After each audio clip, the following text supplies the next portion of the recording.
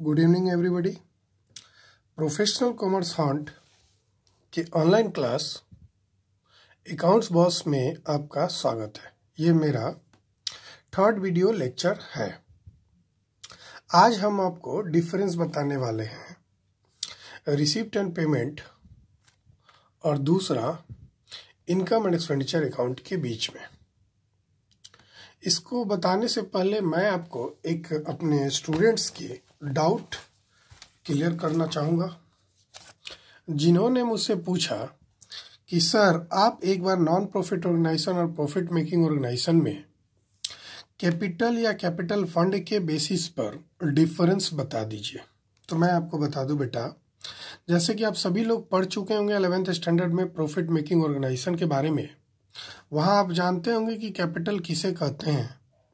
जब कोई मालिक या पार्टनर जो पैसा बिज़नेस में लगाता है, हम उसे ही कैपिटल बोलते हैं। जबकि ये जो नॉन प्रॉफिट ऑर्गेनाइजेशन वाले होते हैं, ये बिज़नेस तो रन नहीं करते, इसलिए यहाँ पे कुछ पैसे फंड के रूप में डोनेशन के रूप में सब्सक्रिप्शन के रूप में मेंबरशिप फ़ीस के रूप में मिलता है। हम उसी पैसे को कैपिटल फंड या जनरल फंड या कॉर्पस फंड के नाम से जानते हैं। आशा करते हैं ये आपको क्लियर हो चुका होगा। खैर, आज की क्लास में मैं आपको डिफरेंस बताने वाला हूँ रिसीट एंड पेमेंट और इनकम एंड एक्सपेंडिचर के बीच में। आइए मैं आपको बता दूँ नेचर के आधार पे कैसे बांटेंगे दोनों को। तो बेटा रिसीट एंड पेमेंट का जो नेचर होता है वो रियल अकाउंट होता है। रियल अकाउंट तो जानते ही होंगे। Debit what comes in credit what goes out ठीक है बेटा? तो ये रियल अकाउंट होता है, इस रिसिट एंड पेमेंट में हम लोग जो पैसे आते हैं, उन्हें डेबिट में लिखते हैं, जो पैसे जाते हैं, कहीं वो क्रेडिट में लिखते हैं, जबकि income and expenditure nominal account होता है, उसमें डेबिट साइड में हम सारे एक्सपेंसेस को लिखते हैं और क्रेडिट साइड में इनकम को लिखते हैं।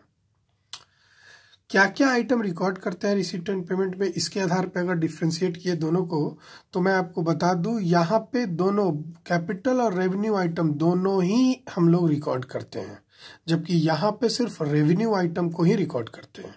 वैसे कैपिटल और रेवेन्यू आइटम क्या होता है, मैं आगे आपको ज़रूर डिस्कस करने वाला हूँ आज ही के क्लास में। पीरियड्स के आधार पे मैं बात करूँ तो बेटा यहाँ पे पैसा किसी भी साल का मिले अगर करंट ईयर में चाहे वो पैसा 2018 का पैसा हो, जो करंट ईयर में मिला हो, चाहे 19 का पैसा है, मुझे करंट ईयर में मिला हो, चाहे 2021 का पैसा हो, जो मुझे करंट ईयर में मिला हो, चाहे 2022 का पैसा जो मुझे करंट ईयर में मिला हो, ये दोनों नेक्स्ट ईयर हो गया, ये दोनों प्रीवियस ईयर हो गया, ये आपका करंट ईयर हो गया। जो तो जो भी पैसा, चाहे वो कैश में हो या बैंक ट्रांजेक्शन हो, वो मुझे मिले करंट ईयर में, हम उसे रिकॉर्ड करते हैं। जबकि यहाँ पे सिर्फ़ करंट ईयर के पैसे को रिकॉर्ड करते हैं मतलब 2020 से रिलेटेड ही पैसे को रिकॉर्ड करते हैं, चाहे वो पैसा मिला हो या ना मिला हो। अगर हम बात करें एडजस्टमेंट का तो रिसिट एंड पेमेंट में कोई एडजस्टमेंट नहीं होता है, जबकि इनकम एंड एक्सपेंडिचर में एडजस्टमेंट होता है। अगर हम बात करें कि कौन से सिस्टम को फॉलो करते हैं रिसिप्ट एंड पेमेंट को बनाते समय तो मैं आपको बता दूँ कैश बेसिस कैश सिस्टम को फॉलो किया जाता है, जिसमें सिर्फ़ और सिर्फ़ कैश और बैंक ट्रांजेक्शन का रिकॉर्डिंग होता है। मतलब इस वाले में रिसिप्ट एंड पेमेंट में कोई भी क्रेडिट ट्रांजेक्शन का रिकॉर्डिंग नहीं होता है, जबकि इसके विपरीत एक्रूअल सिस्टम को हम रिकॉर्ड करते हैं इनकम एंड एक्सपेंडिचर अकाउंट में। एक्रूअल सिस्टम बोले तो कैश या क्रेडिट ट्रांजेक्शन मतलब क्लियर हो गया रिकॉर्डिंग इसमें सिर्फ़ कैश और बैंक ट्रांजेक्शन को रिकॉर्ड करते हैं और इसमें किसको रिकॉर्ड करते हैं? तो कैश प्लस क्रेडिट जो कि और जो नॉन कैश ट्रांजेक्शन है, जैसे कि डेप्रिसिएशन हम उसी ही सिर्फ़ रिकॉर्ड करते हैं। थैंक यू आइए आगे बढ़ते हैं हम लोग। मैंने आपको जैसे बताया कि डिफरेंस बताने वाला हूँ आज। उसके बाद मैं आपको बताऊँ कैपिटल एक्सपेंडिचर किसे कहते हैं। आइए मैं आपको बता दूँ कैपिटल एक्सपेंडिचर का किसे कहते हैं। आइए डेफिनेशन पढ़ते हम लोग।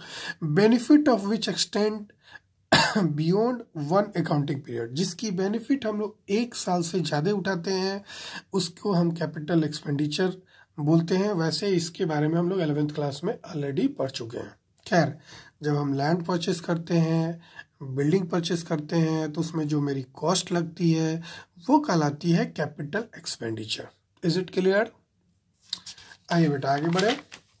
रेवेन्यू एक्सपेंडिचर किसे कहते हैं? तो मैं आपको बता दूँ बेटा रेवेन्यू एक्सपेंडिचर उस एक्सपेंडिचर को बोलते हैं जिसका बेनिफिट हम लोग एक अकाउंटिंग पीरियड के अंदर उठा लेते हैं।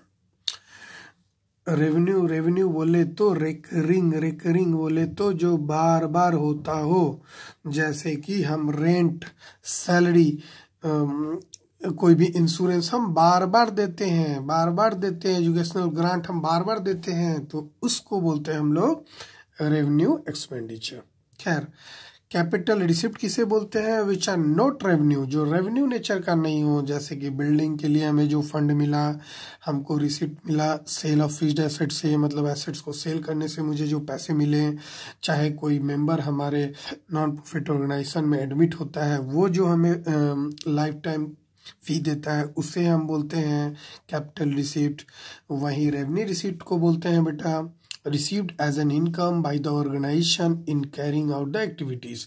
Business, sorry non profit organisation के जितने भी एक्टिविटीज़ हैं, उनको चलाने के लिए हमें जो इनकम होती है, जैसे कोई हमें रेंट दे दिया, कोई इंटरेस्ट दे दिया, कोई एंट्रेंस फ़ी दे दिया एडमिशन फ़ीस दे दिया तो वैसे कोई भी पैसे जो हमें मिलता है, जैसे हम ओल्ड न्यूज़पेपर अपना है उसको बेच देते हैं, या कोई हमें डोनेशन दे दिया, या कोई हमें सब्सक्रिप्शन दे दिया, जिसके बारे में मैं आपको बताऊँगा आगे तो ये सारे हमें रेवेन्यू रिसिप्ट के नाम से जानते हैं। ये रेकरिंग होता है बार बार होता है। मतलब नॉन प्रॉफिट ऑर्गेनाइजेशन को भी रन करने के लिए हमें पैसे की ज़रूरत होगी। तो उस पैसे को जो हमें मिलते हैं हमेशा, उसे हम रेवेन्यू रिसिप्ट बोलते हैं। खैर, आगे आइए, एक और डिफरेंस हम लोग जल्दी से कंप्लीट करते हैं, जो इनकम एंड एक्सपेंडिचर और प्रॉफिट एंड लॉस अकाउंट के बीच में है। ये काफ़ी इजी है बेटा। बेटा इनकम एंड एक्सपेंडिचर हम बनाते हैं सरप्लस और डिफिसिट निकालने के लिए। मतलब अगर डेबिट ज़्यादा होगा क्रेडिट से तो हम उसे बोलते हैं डिफिसिट मतलब कमी हो गई। जब क्रेडिट ज़्यादा हो, इनकम साइड ज़्यादा हो, डेबिट से तो हम उसको बोलते हैं surplus.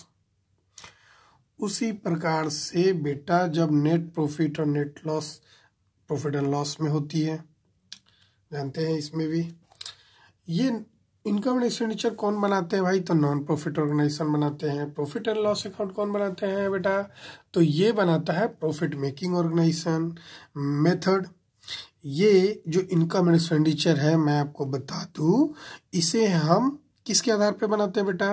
Prepared from receipt and payment account and additional information मतलब आपके एग्ज़ाम में जो क्वेश्चन होंगे, वो आपको बनाने हैं आपके क्वेश्चन में रिसिप्ट एंड पेमेंट बना के दिया होगा, आपको एडिशनल इन्फॉर्मेशन होगा। इसके, इन दोनों के बेसिस पे आप बनाइएगा इनकम एंड एक्सपेंडिचर अकाउंट जबकि आप जानते हैं प्रॉफिट एंड लॉस अकाउंट कैसे बनता है, आप जानते हैं, आप ट्रायल बैलेंस बनाते होंगे एडिशनल इन्फॉर्मेशन को लेते होंगे एलेवेंथ स्टैंडर्ड में।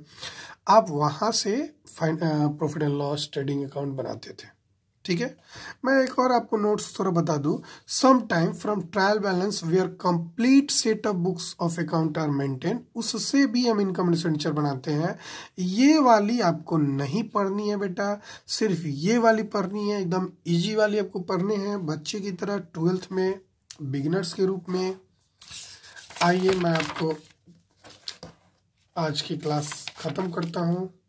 बाय